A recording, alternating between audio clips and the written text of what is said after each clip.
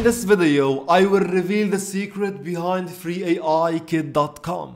It's simply one power prompt that allows you to create any AI tool in seconds. Let's start. The easiest and the fastest way to understand this concept is with a practical example. Here I am in ChatGPT and usually if you want to ask the language model or ChatGPT in our case anything, you simply give it a prompt. For example, generate five SEO optimized titles for a blog about a topic, let's say about prompt engineering.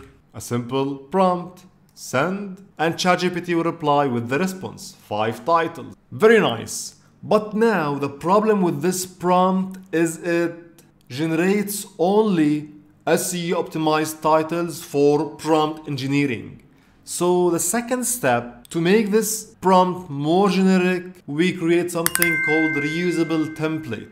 What we do is we copy this prompt, this basic prompt, and what we do is instead of prompt engineering, we will turn this into user input. For example, we open square brackets and we say topic. So now with this template that you can give to anybody, you can generate SEO optimized titles, but for different topics, they can change the topic. And this is what we call a prompt template or reusable template. Of course, this prompt is very basic to understand the concept. It's not optimized, it's not the perfect prompt, just for the sake of the example now.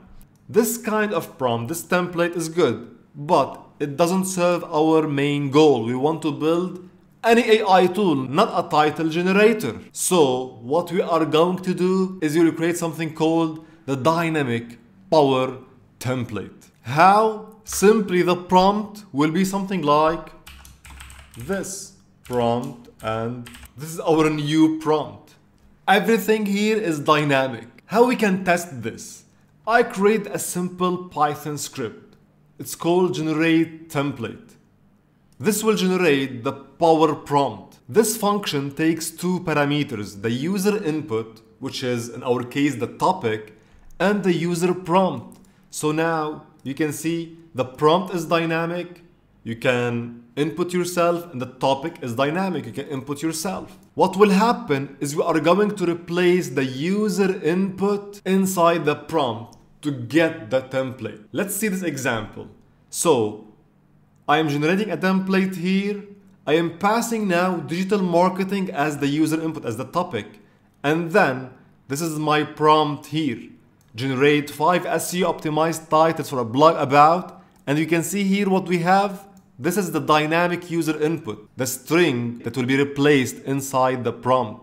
And if we run now, you will see we get this prompt. Generate 5 SEO optimized titles for a blog about digital marketing.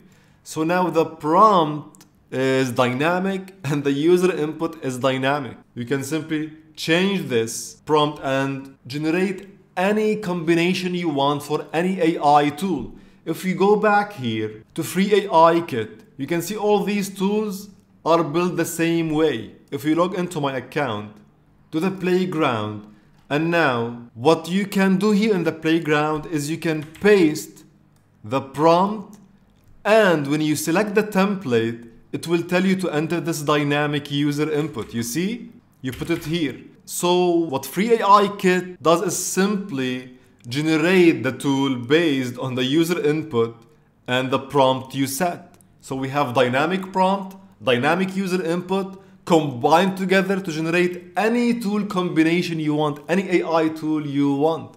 This is why now it's super easy to build AI tools, any AI tool with a free AI kit, like this one, children's toy generator.